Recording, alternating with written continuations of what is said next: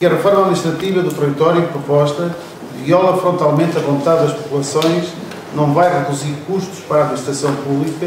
vai retirar voz às populações, descaracteriza a vontade própria de cada freguesia,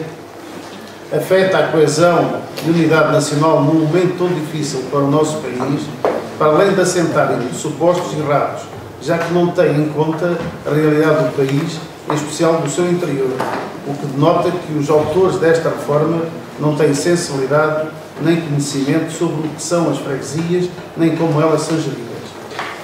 Apelar ao Governo e aos partidos da maioria parlamentar que o apoia para que recuem à semelhança do que fizeram com a taxa social única